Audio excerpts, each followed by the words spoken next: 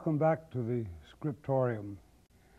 This is the 13th program, and this time we'll be working with the alternative finishing strokes. Now, these are a little more elaborate than what we've been using.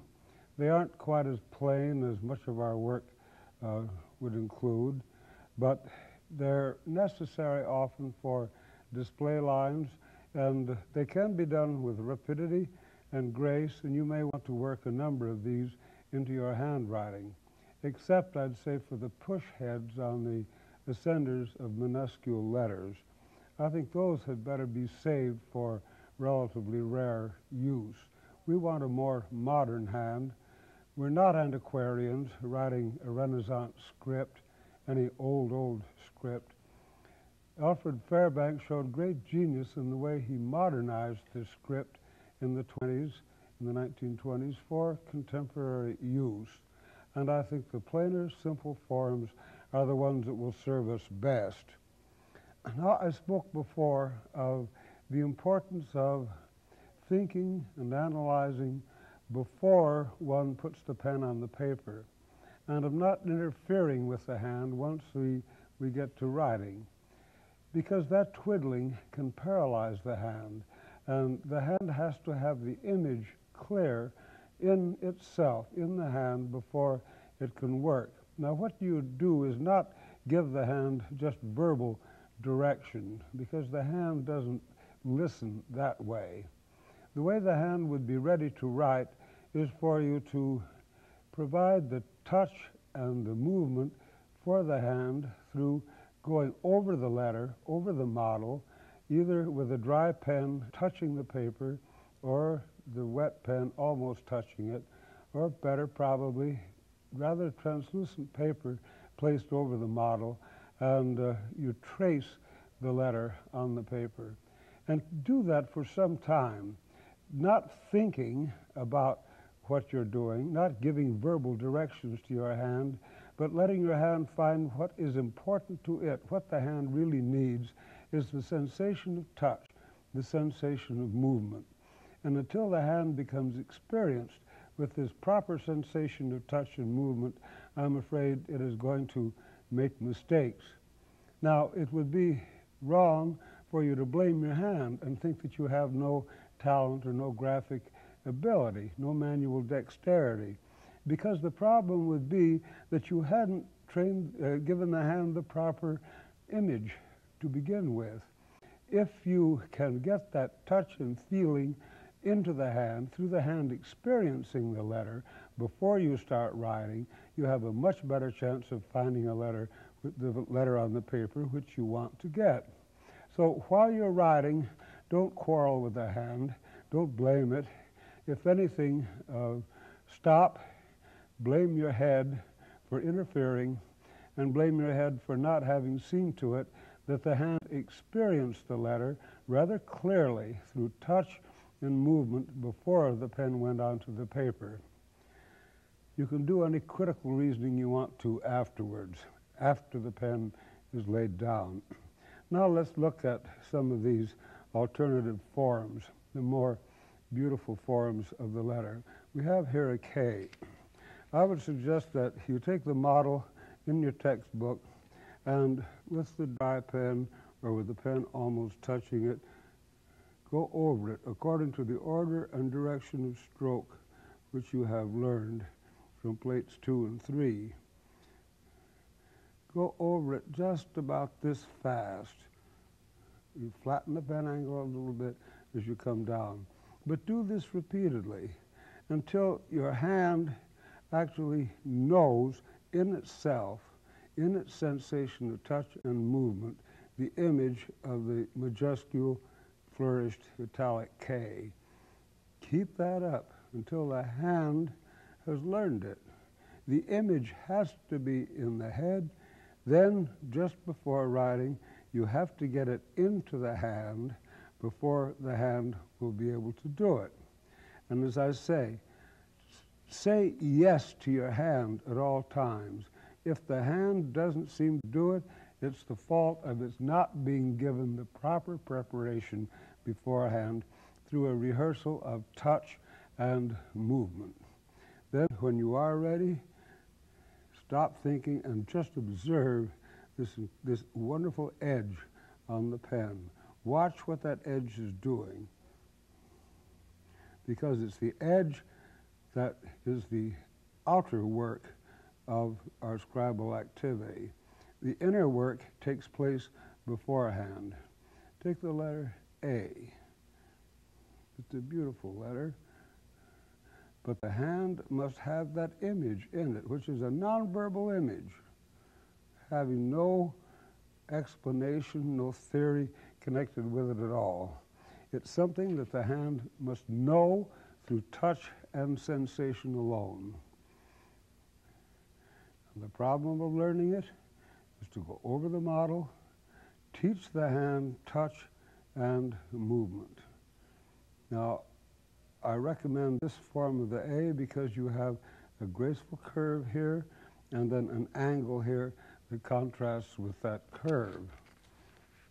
Let's take the B, um, something which we haven't spent much time with before. Notice that long curve. Train your hand so that it knows this has to be straight and then a rather sweet full curve here until you get into the horizontal and then you can pull over like this. This should not end, I'd say, abruptly like this, because then the weight of the letter looks as if the whole thing were going to slip off down this way. We want it to be firmly established in that horizontal before we come up and start the upper part of the letter. Now a nice full sweet curve that comes in above just about center, and then a larger full curve below, and you watch with central vision that point down there so that you can come down and meet it. But get that, it's almost like a form of branching uh, in here. Uh, you go into that horizontal and then over to the right. The C, twist on the upper right-hand corner just so that your hand can do it. You remember when I was doing the plain caps, my hand kept inserting serifs on these caps. I didn't want it there, I didn't intend it, but my hand feels that the letter ought to have those serifs, and the hand goes ahead and thinks serifs and does it without my entering into it at all. If I were trying to direct the hand, if I were twiddling and unable to decide mentally and conceptually what that should be, my hand would be paralyzed. I wouldn't be able to do anything. The hand knows. And say yes to your hand. Now let's write a D. Same way with the B, we come down with a good strong vertical, a flat pen angle, over to the left until we get into the horizontal, then down to the right, up into a hairline. You get this accent, and then a strong curve up here. Come down, watch that point, and come down, and your hand will meet it directly. A nice, full, strong letter. There must be no curvature on this. This must be strong, and then the curve is sweet as you can make it. The E begins the same way. Remember the rather flat pen angle as you go over it, teaching your hand the touch and movement. Go into it until it quits curving and is straight, then come over to the right side. A good strong curve on the flourish,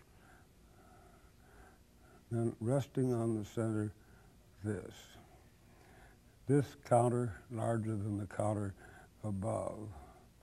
The F has the same move, but now don't carry this stroke farther to the right than an extension of that edge. That is, this little corner down here, the corner right in there, should not be to the right of the right side of the stem. The upper part is like the E, but the second arm is just beneath where it would be on the E. If this goes too far to the right, it's going to look like an E, and you'll have confusion. And when the reader is confused by a letter he's not reading the way we want him to, and it means that we've failed. The G, very much like the C, twisting on the upper corner, going into the wet ink, pulling a full curve around, keeping this down rather low if we don't want a flourished G, then coming down and getting a nice angle in here. We can with the corner round that a little bit in there. The, the alternate G, a more flourished one, has a nice strong rhythm to it. We come up a little bit on this as if it branched in into this downstroke which comes down and has a flourish beneath. But this should be very strong. The H and so on all follow the same pattern. The L, which you've had, is a slab serif L. You see, a very plain and somewhat rigid and austere letter like that. Now let's put a little more grace into the letter. Put this flourish in. A slight curve, come down, go to the left as we did with the B, the D, the E, come over to the right, sloping down just a little bit, and then up. And that makes a graceful, graceful letter.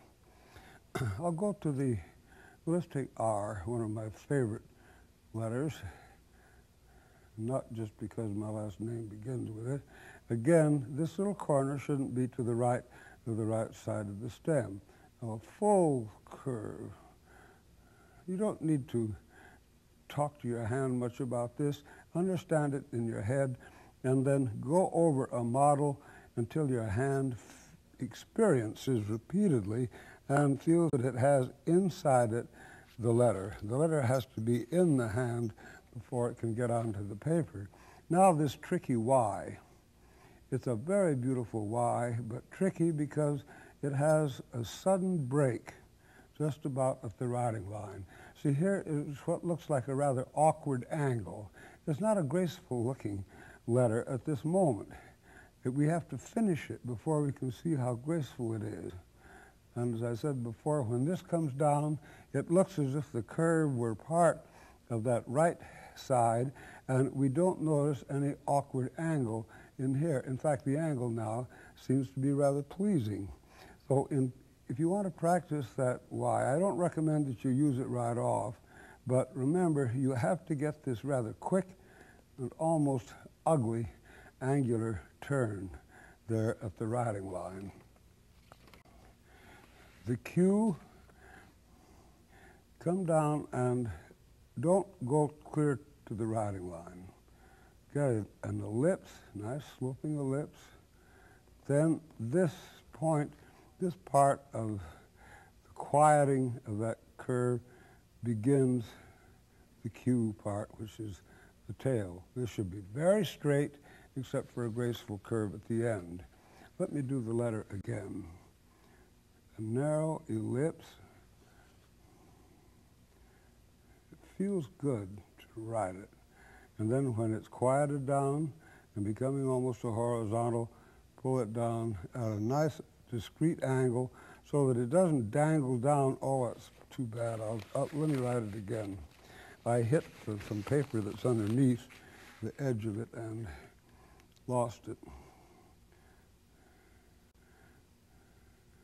You can't bump into things underneath and have the pen work. Now it can come down very straight. If it comes down too steeply, it's, it's going to look weak and, and soft, Yet if it's too high, it'll bump into the Q, which invariably in an English word will follow the Q. So be sure that it doesn't get so close there that there's likely to be a collision. Now for the, for the chancery cursive type of push heads.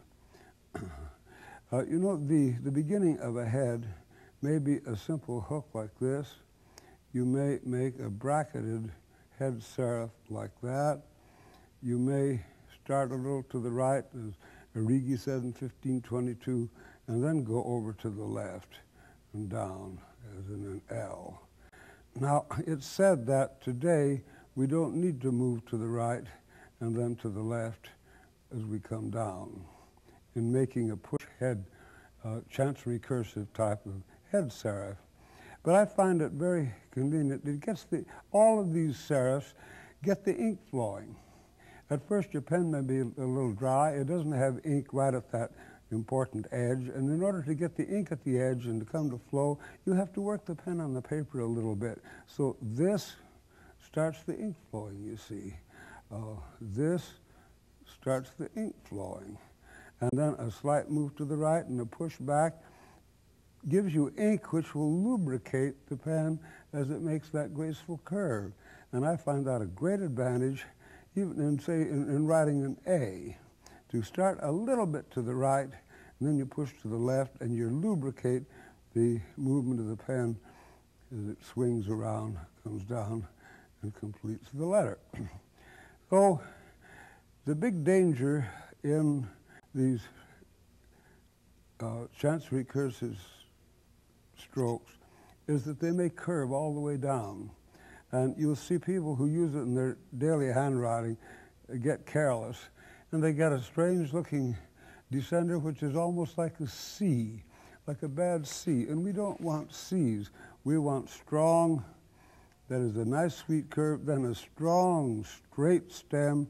You hit the writing line, bounce up, branch out, come around with a point farthest east high, come in with a horizontal, and that gives you a sweet letter. But this is not, I'd say, a, a form of writing for rapid, rapid work. It means more care and a little slower writing. We've had an I that I think is the safe one and the one I would recommend to you for your general use, at least for a long time, which is that. If it's too boring for you, put that medieval type tick on the side. It's recognizable as an I, it won't be thought of as a one at all. But here you have, you come over, you get a sweet little curve over, come down, and just as in the B, the D, the E, the F, the L that we've seen, you go to the left a little bit and then over to the right. Now, a, a more exciting I is one that you'll have to practice because it's not the easiest letter to do. You come down, and if the paper allows it, you can push up. This is more like a later I than the one used in the Renaissance, but it's, for many people, a more interesting letter.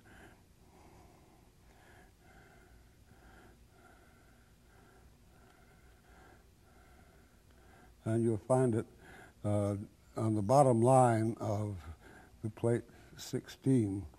And uh, you want to write the word iris,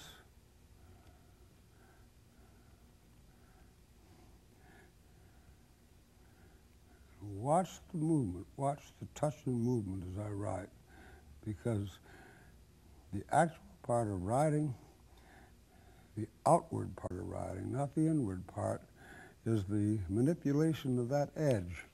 And you have to know what the edge is going to do. One more important thing in this lesson is the round G, what might be called the Carolingian G. Here's our writing line. Here's our waistline, descender line down below. This Carolingian G takes up a considerable amount of space, but at times you want to use it. So that this first upper part of the rounded G doesn't come quite down to the writing line. You come down, and on the writing line, you make a curve, and then swing over, and then around, and come down like this. Now, this axis should slope. You add the ear, and I may explain that in the later program. Let's do it again. Watch the touch and movement. If you want to fill it out, come, go clear to the top. But don't make a heavy sagging thing down here, but one that has slope. It may or may not have the ear. Sometimes the Carolingians omitted the air on it, but it's a definite part of G. You can flourish it. Now, the printers couldn't afford all that space with their type metal, So they come down, here's the writing line. They lift the pen and go over to the left and come down to the writing line and then rest this as a horizontal on the writing line and then get a rather even larger counter beneath. Some uh, of the calligraphers don't care for that G, but I do think it's a rather beautiful one, although it's a typographic letter. It won't have quite the swing and the rhythm of the other one, but if you need space, if your lines are rather close together, you want to avoid tangling at all costs, so you may not be able to use this, which can come in very handy on the bottom line of, uh, of a piece of writing. The, the origin of that ear is rather interesting. We might take a moment to look at it. The G, the classic G, the square G, capitalis quadratus, was like this. Although the G written by the professional scribes of the Roman period is different generally in that the hand rounded that angle. A cursive tendency is to round angles. Then in the uncial, which is called also the Christian alphabet, they decided that they wanted that strong stem in, so they added it like that. Sometimes it's a thinner line than that. But this is always the first stroke. And over centuries, they missed that beginning. Instead of going into the wet ink, started coming down before them, came around, and the hand rounded that angle up there like this. Now this looks very much like the Anglo-Irish G, which you see in Celtic printing. Now a wonderful thing happened. Added a flourish up here, added a flourish down here. So this led to the black letter G, which I shouldn't be sloping, but like this. And there we have the G, which ultimately becomes our italic G. And when this is rounded, you see it's the 9th century Carolingian G. Or if the pen is lifted and starts over here, we have the printer's G. But this horizontal is that beginning stroke of the old letter. And this, this rounded G looks as if that original horizontal were gone, and the writers, loving tradition, wanted that horizontal. So you'll find this in your book types, you'll find it in newspapers and in magazines, you'll find various forms of it. But uh, some of them are rather curious, coming up like this. But the form to avoid at all costs as being what I would say an utterly illiterate G, and I'm afraid we see it every once in a while, even in some uh, job typography, is one that has a top like that. That's a horizontal. You see, it goes back to the horizontal of the original capitalis quadratus, the square capital. So it should be horizontal and never a vertical like this. This looks like the top knot on a California quail, and it's not a good picture of a quail or diagram of a G at all. So let's avoid any vertical up there and get either a nice round G or the G which is going to serve us in good stead in almost all our work, which is that graceful G and don't cut across here and ruin that, that nice, beautiful shape that's in there. At the end of a word, as in brush, an Indian paintbrush in our exercise, if you have an N or an M, a U or an H, you may make a quick terminal like that. It helps end a line, especially if you have some space, and give it an added grace. Occasionally, in, certainly in Renaissance work, you'll find a, G which come, a C which descends below the writing line. And if you're crowded, if you don't have as much space as you'd like to have, You can get that R closer to the C if you use that elongated C. So I would recommend that when you're, at least when you're crowded for space. I almost never use it at all because it's, uh, it's a little unusual and is likely to draw attention to itself. And uh, we don't want anything in our writing that will make the reader more conscious of the writing than of what we are saying, because we write to be read. And if, uh, if the reader isn't reading directly and easily what we're writing, then we're showing off and uh, we aren't doing our work. We write to be read, not to be praised, not to be famous. There's one little thing that we haven't gotten into, which is of convenience at times, and that is the paragraph sign, which has an interesting history. I don't have time to go into it today, but this is a rather nice form of it here. Some people have the idea that it is a P for paragraph turned around. It isn't at all. So let's try various forms of this. Paragraph